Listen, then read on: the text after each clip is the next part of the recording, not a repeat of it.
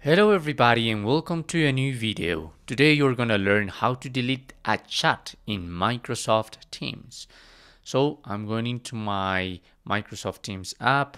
Remember that if you are in your home of this app, at the bottom of your screen you have different options, the home, the messages and notifications. So here in the messages, if I have a chat, I can hold it and I'm going to receive a new list, a new menu.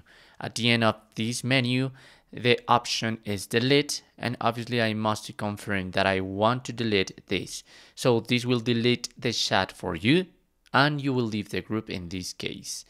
Obviously, if you want just to delete a message, you must hold the message and in this same list, the second option is delete. And obviously you must confirm that you want to delete that you want to delete this message. And that's it. That's how you can delete a chat in Microsoft Teams. Thanks for watching.